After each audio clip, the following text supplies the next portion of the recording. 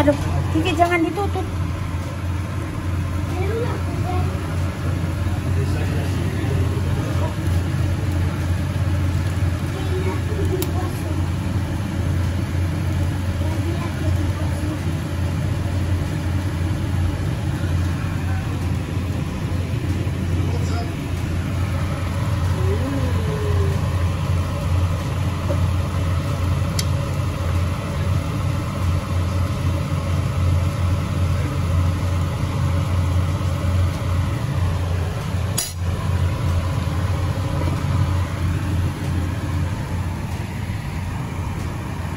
Masak-masak.